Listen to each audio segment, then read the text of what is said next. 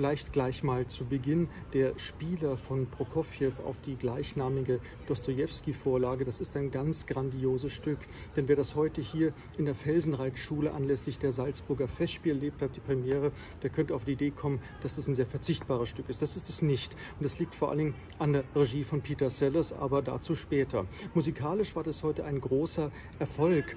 Vor allen Dingen Sean Panika in der Hauptrolle dieses Spielers hat mir unglaublich gut gefallen. Das ist ja ein genuin lyrischer Tenor, der die Stimme ja sehr fokussiert hat und äh, dadurch eine große Stabilität hat. Der kann seiner Stimme alles abverlangen, was er möchte. Und Asmi Grigorian war ja heute auch dabei als Polina, als weibliche Hauptrolle. Das ist ja so die Salzburger Sommerdiva, die heute komplett unterfordert war, obwohl sie ja immer als Gesamtkunstwerk doch eine ganz sichere Bank ist. Wie gesagt, auch ein Regieproblem. Und Violeta Omana als Großmutter noch im vollen Vokalsaft fand ich auch eine ganz tolle Charakterstudie.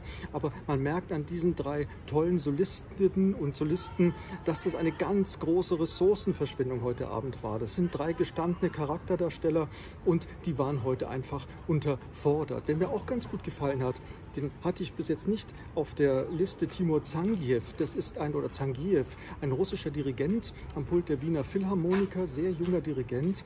Der hat diese Motorik der Prokofjew-Partitur ganz toll entwickelt. Ein sehr versierter Dirigent. Sie hören jetzt hier auch schon Gewitter. Das ist vielleicht Prokofjew von oben, der sich wehrt gegen diese Aufführung heute.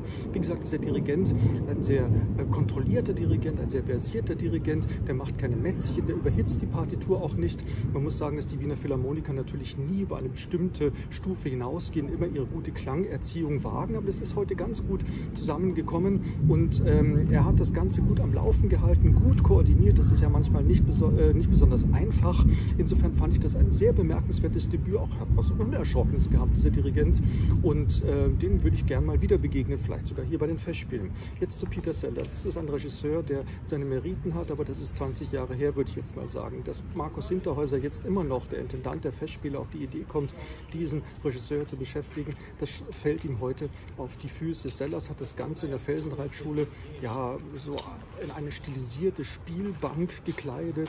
Da sind so wie UFO-Lampen, die immer auf und nieder fahren und ähm, und dann merkwürdige Lichtregie, dauernd irgendwelche Lichtwechsel, was die Figuren miteinander zu tun haben, überhaupt keine Ahnung. Das ist natürlich nicht einfach, dieses Stück. Das ist ja nicht die Geschichte eines wahnsinnigen Spielers, das ist sie natürlich auch. Und eine Liebesgeschichte, das wird dann überblendet. Es ist vor allen Dingen ein Gesellschaftsdestillat dieser russischen Gesellschaft im 19. Jahrhundert, das ganz konzentriert ist auf diese zwei Stunden, zehn Minuten und bei Dostoevsky auch von relativ knappe Romanform.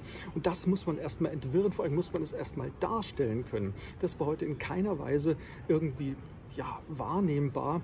Teilweise war das so etwas wie eine Regietheater-Karikatur. Das hat einen vollkommen kalt gelassen. Und ich weiß nicht, warum man diesem Regisseur überhaupt noch so eine große Bühne bietet. Wie gesagt, eine ganz große Ressourcenverschwendung.